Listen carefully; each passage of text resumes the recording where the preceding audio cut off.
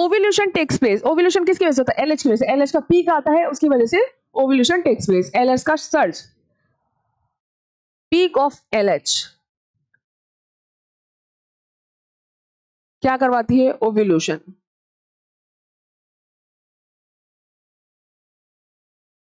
ठीक है? तो एलएच आंसर बी